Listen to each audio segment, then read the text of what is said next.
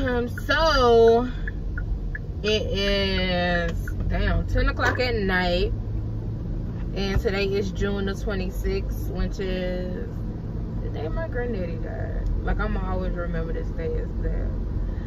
But um, today I was really, really, really down. Like I was really, really depressed. But I've been going through this for a minute now, actually.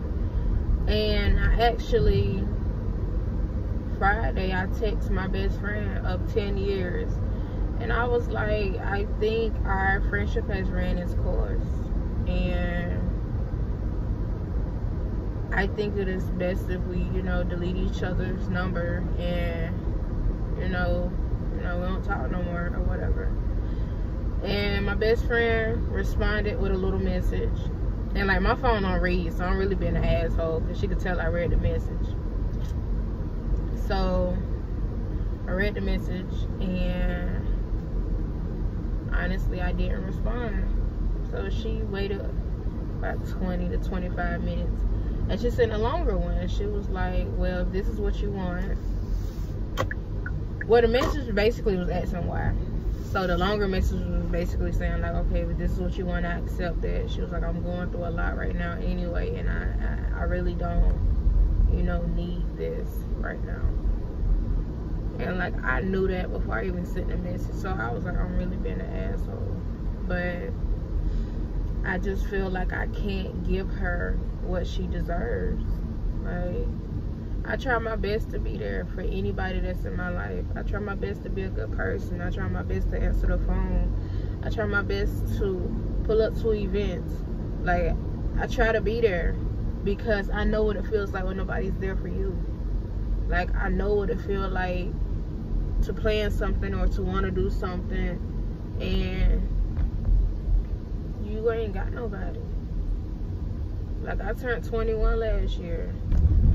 I was in the bed my whole birthday. I didn't go out. I didn't go get drunk. I didn't hang out. I didn't go to no party. Like, I didn't do any of that. I didn't have anybody to do that with.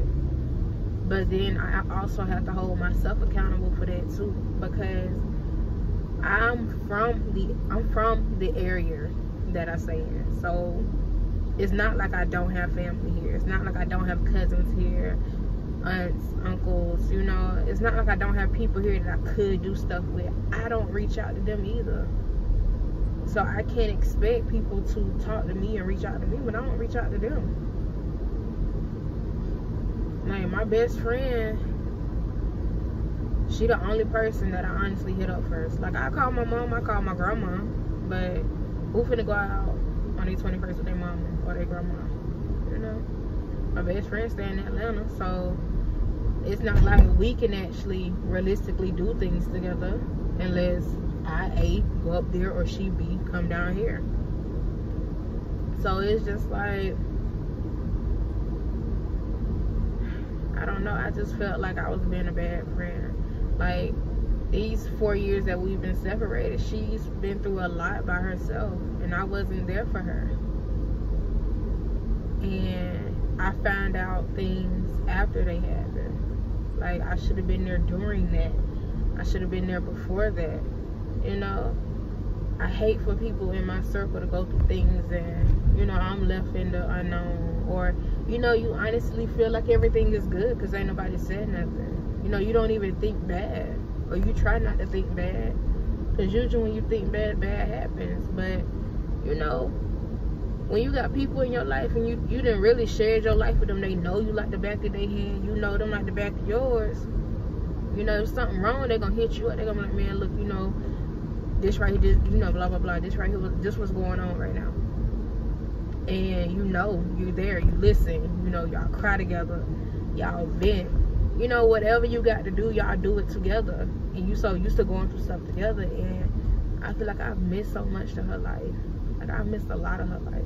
I mean, and I'm not saying that because honestly, we not old, so I haven't missed a lot. But I feel like I've missed some things and she went through some things by herself that she didn't have to go through. I mean, vice versa, I did too. And I can't be mad at her because sometimes I don't pick up the phone and call her when something going on with me because I know I feel like I have to separate myself from people when I'm going through my moods or my moments because I feel like you have to be aware of the energies and the spirits that are around you or the ones that you're interacting with. Gas went up 20 cents within the last Ooh, anyway, but you have to be aware of that because and my gas ain't empty. Oh, that just made me mad. But you have to be aware of the energies that are around you because energy cannot be created nor destroyed, so it's transferred. So I know when I'm in a dark place or I'm in an area where I don't want to be in or I just feel like I need to be by myself. I don't want to talk to nobody because I don't want to bring nobody else down. I don't want nobody else to to feel how I feel, so I rather feel it alone. Like people ask me like, why you don't talk to nobody? Why you don't do this? Why you don't do that? Because when you talk to somebody, you put it on them also, and you could be putting something on them that has nothing to do with them at all. You can be, you know, basically a mood killer, and they didn't deserve that. So I honestly stay to myself. I don't really bother nobody. Um, and that's just how I feel about it. Like I don't bother nobody. Um, when something going on with me, I try my best not to speak on it. As far as the public, I'ma smile and keep it moving. I'ma ha ha kiki with you, but I mean, even if I did open up, it wouldn't be to like just anybody. Now it's certain stuff about me I say out loud and I don't care, cause in order for you to be the person you need to be, you need to accept who you are and what you've done. You need to be real with yourself. Because if you can't be real with yourself, you can't be real with nobody else. So, it's some things I've done that I flat out tell somebody I did. Or I tell somebody I used to be that girl. Or I used to think stuff like that was cute.